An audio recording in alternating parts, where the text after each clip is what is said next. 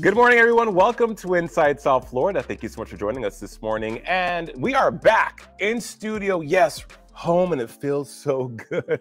Glad to have you guys here with us today. Question for you could you imagine yourself enjoying some rosé on the sands of Fort Lauderdale Beach, all while supporting a good cause? Well, guess what? You could do just that. Sea Glass, the Fort Lauderdale Rosé experience starts this week, and our Inside South Florida correspondent Miriam Tapia got a first-hand look at the action and how you can take part in the fun.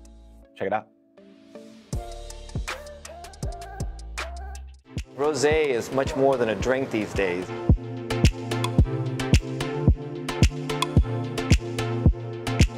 Taking place on January 21st to the 23rd on the sands of Fort Lauderdale Beach will be the third annual Sea Glass Experience, Fort Lauderdale's rosé event. This one of its kind three day event will showcase over 30 rosés from all around the world and also highlight wine, spirits, craft beer, and of course, food. Founder of Sea Glass, Carlos Suarez, wanted to bring a luxurious event to the 954. I wanted to create something special on Fort Lauderdale Beach.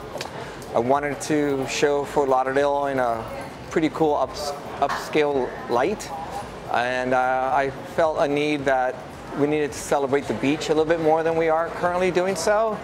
And you know, it, it turned out I was right. You know, it's been really embraced by the, all the residents and uh, from Fort Lauderdale and, and other places too. It's cool. Carlos is a cancer survivor, and when he created the event, he wanted to make sure Sea Glass would not only gather people together to have fun, but also give back to the community. I thought, well, maybe AutoNation and Drive Pink would be a sponsor, and boom, it happened. And Hilton, which is a great uh, partnership with ours, and that happened. And um, it's, you know, it's raising money, it's raising awareness for a, a cause that's very dear to me. And uh, I'm very proud of what we're doing with AutoNation and, and Drive Pink and Dolphin Cancer Challenge for sure.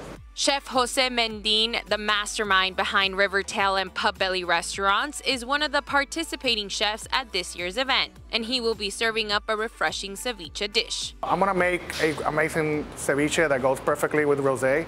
So it's made with like uh, guajillo peppers and watermelon, has some juice, and could be some uh, octopus in there, shrimp, some fresh fish, and the flavors are like not super super intense of, uh, of, lime, of citrus, but it, the, the watermelon gives a sweetness that goes perfectly with, with the rosé.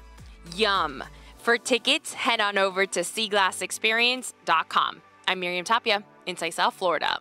Hey, thanks for watching. For more exclusive content, make sure you follow us on social media and check out our website, WSFLTV.com forward slash ISF.